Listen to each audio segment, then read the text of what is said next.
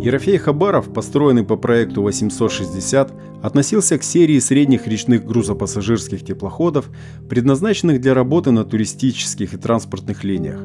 Строились эти суда на разных судостроительных заводах Советского Союза с 1958 по 1965 года. Из 13 построенных по Амуру ходило 7. В начале 90-х несколько судов, работавших на Амуре, были реконструированы в Китае на Харбинской верфи.